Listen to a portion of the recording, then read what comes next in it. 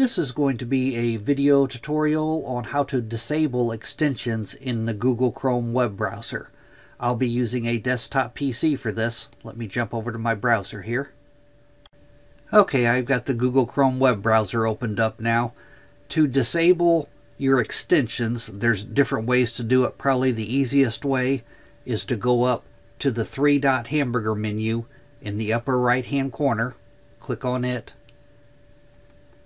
Then you'll go down to where it says more tools. And then you'll go across to where it says extensions and click on extensions. And this will list all of your extensions that you have on your browser. To disable your extensions each extension has its own little box here and say that I wanted to disable uh, ad block here I would just toggle this off. It has a little toggle in the lower right hand corner and to enable it you just toggle it on. As you can see some of my extensions I have toggled off. You can also from this screen you can also remove the extension altogether. Right there you have a remove button. If I chose to remove this I would just click on remove.